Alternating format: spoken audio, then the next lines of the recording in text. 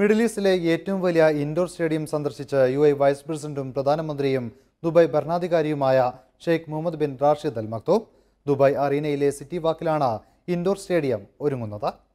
മെറാസിന്റെ നേതൃത്വത്തിലാണ് ദുബായ് അറീനയിലെ സിറ്റി വാക്കിൽ ഇൻഡോർ വിനോദ സ്ഥലം ഒരുങ്ങുന്നത്.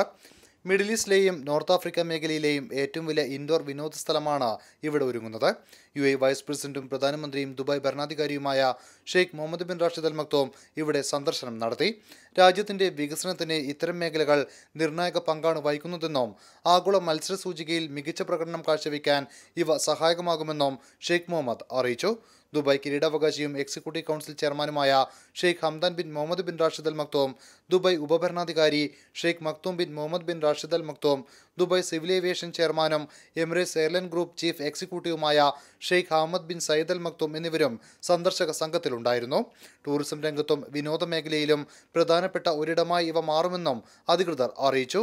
സ്റ്റേജ് ഷോകൾ കോൺസേർട്ട് കായിക മത്സരങ്ങളായ tennis basketball boxing volleyball ice hockey എന്നിവയും ഗാല ഡിന്നേഴ്സ് പ്രദർശനങ്ങൾ സമ്മേളനങ്ങൾ ആഘോഷങ്ങൾ എന്നിവയ്ക്കും ഇവിടെ വേദിയാകും. ദുബായ് മെട്രോയുമായി ബന്ധിപ്പിക്കുന്ന കാൽനടപാതകളും ഇതിന്റെ ഭാഗമായി നിർമ്മിച്ചിട്ടുണ്ട്.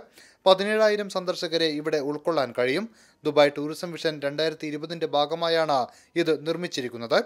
ദുബായ് ടൂറിസം സ്ട്രാറ്റജിയുടെ ഭാഗമായി രണ്ടായിരത്തി ഇരുപത്തിയഞ്ചാകുമ്പോഴേക്കും ഇരുപത്തിയഞ്ച് മില്യൺ വിനോദസഞ്ചാരികളെ ആകർഷിക്കുവാനാണ് ലക്ഷ്യമിടുന്നതെന്നും അധികൃതർ വ്യക്തമാക്കി. N Dubai. ജനങ്ങൾക്കൊപ്പം വാർത്തയ്ക്കൊപ്പം നന്മയോടൊപ്പം N T V U A to the world.